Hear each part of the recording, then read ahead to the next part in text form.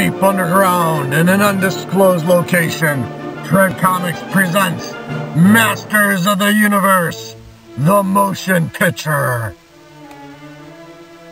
Masters of the Universe, also known as Masters of the Universe, the motion picture, is a 1987 American science fantasy action film directed by newcomer Gary Goddard, produced by Yoram Globus and Menahem Golan. It was written by David Odell. The film stars Dolph Lundgren, Frank Langella, Jon Cypher, Chelsea Field, Billy Barty, Courteney Cox, Robert Duncan McNeill, and Meg Foster. It is based on the Mattel toy line of the same name, which brings the story of two teenagers who meets the mighty warrior He-Man, who has arrived on Earth from planet Eternia and now goes on a mission to save the universe from the villainous Skeletor, his evil nemesis. Masters of the Universe was released theatrically in the United States on August 7, 1987. It was a critical and commercial failure, grossing $17 million worldwide against a budget of 22 million. However, it is now regarded as a classic cult film. One of the original drafts from the script by David Odell, whose previous writing credits included Supergirl and The Dark Crystal, was reviewed in the third episode of the He-Man and She-Ra podcast, Masters Cast. The original draft included more time spent on Eternia and Snake Mountain, had Beastman in a speaking role, and even revealed that He-Man's mother was originally from Earth, as per the character Queen Marlena from the Filmation animated series He-Man and the Masters of the Universe, thus linking the two planets. Describing her character, Meg Foster said that Evil-Lyn is not villainous. Quote unquote, she is just doing her job and she knows how to get results, even if that's being harsh.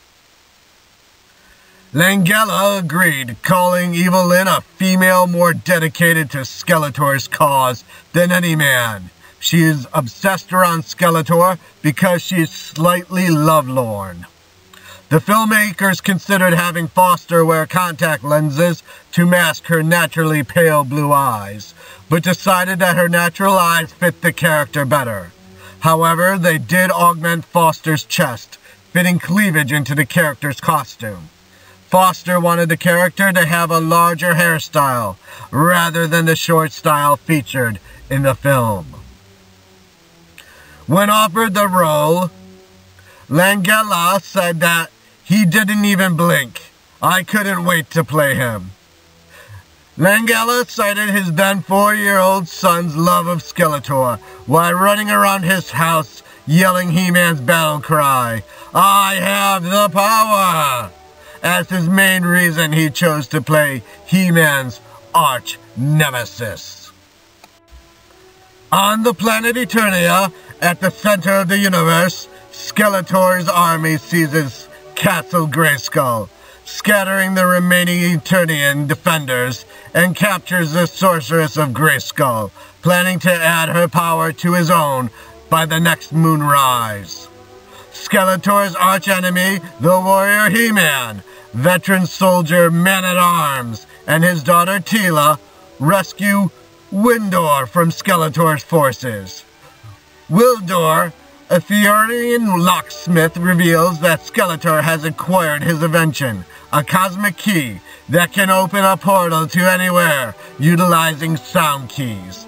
The device was stolen by Skeletor's second-in-command, Evil-Lyn, allowing Skeletor to breach Castle Grayskull. With Gwildor's remaining prototype of the key in hand, He-Man and his friends travel to the castle. They attempt to free the sorceress, but are overwhelmed by Skeletor's army and forced to flee through Gwildor's hastily opened portal, arriving them on Earth. the key is misplaced on their arrival and is discovered by two New Jersey teenagers. Orphaned high school girl Julie Winston and her boyfriend Kevin Corrigan. While experimenting with the device, they accidentally send a signal that allows Evil-Lyn to track it. She then sends her henchmen, Saurod, Blade, Beastman, and Cog, to recover it. Kevin, an aspiring musician, mistakes the key for a synthesizer and takes it to a music store run by his friend Charlie. Cog's team arrives and chases Julie until He-Man rescues her. Cog's team returns to Grayskull where, incensed by their failure, Skeletor kills Saurod and sends the others back to Earth. With a larger force under Evil, Evil-Lyn's command, Unable to find Julie, Kevin is taken to Julie's house by Lubic, a detective investigating the disturbance created by Cog's team. Suspecting the key is stolen, Lubic confiscates it from Kevin and leaves. Immediately afterwards, Evil-Lyn captures and interrogates Kevin for the key's location with a mind control collar before pursuing Lubic. Julie and the Eternians release Kevin from the collar before they go after Lubic and the key. They arrive at Charlie's store, but Skeletor's forces catch up with them, and then a pitched battle ensues. Evil-Lyn discovers that the key and summons Skeletor to Earth. Skeletor's forces capture the Eternians, and Julie is mortally wounded by Skeletor's lightning blast, which simultaneously erases the memory storage of Gwildor's key.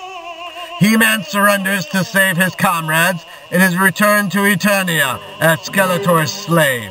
Skeletor demands that He-Man kneel before him for all of Eternia to witness before he is killed. He-Man refuses and is lashed by Blade's laser whip in an attempt to make him submit. He-Man is still standing when the moon rises and Skeletor absorbs the powers of the universe. Declaring himself the master of the universe, Skeletor asserts his victory and continues to torture He-Man with energy blasts. Back on Earth, Gwildor repairs the cosmic key and Kevin recreates the tone necessary to create a gateway to Eternia. The group, including Lubic, who attempts to arrest them, are transported to Castle Grayskull, where they begin battling Skeletor's forces. Resenting that Skeletor absorbed the powers of the universe without sharing it with her, Evil-Lyn deserts him along with the other henchmen. Skeletor accidentally frees He-Man, who reclaims the Sword of Grayskull, and they battle until He-Man shatters Skeletor's staff, removing his new powers and restoring him to his normal state. He-Man offers mercy, but Skeletor draws a concealed sword and attempts to kill He-Man. He-Man knocks Skeletor into a vast pit below.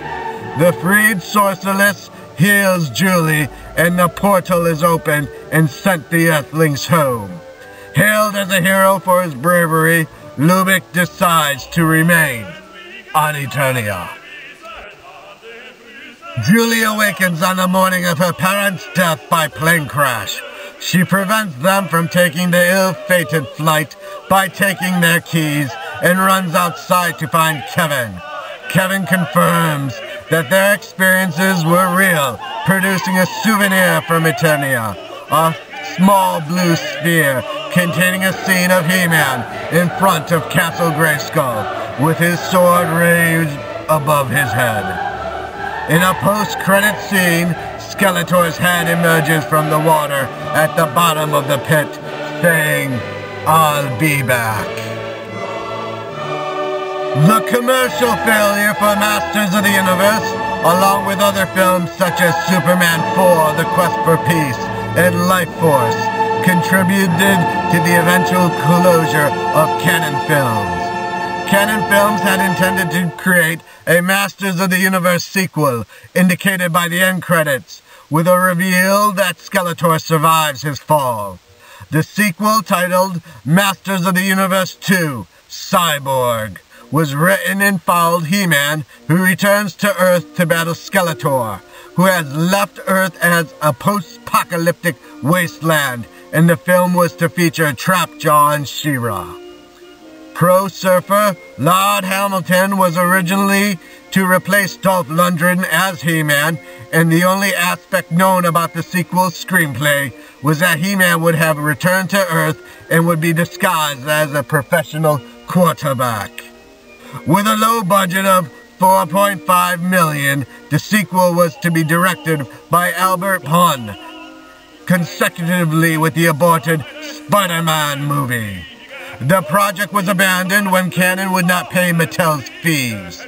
The production instead utilized the already made costumes and set for the low-budget sci-fi film Cyborg. Masters of the Universe was Dolph Lundgren's first leading role in a feature film following his success in Rocky IV and would later label it as one of his least favorite film roles. Conversely, Langella considered playing Skeletor to be one of his favorite roles of all time.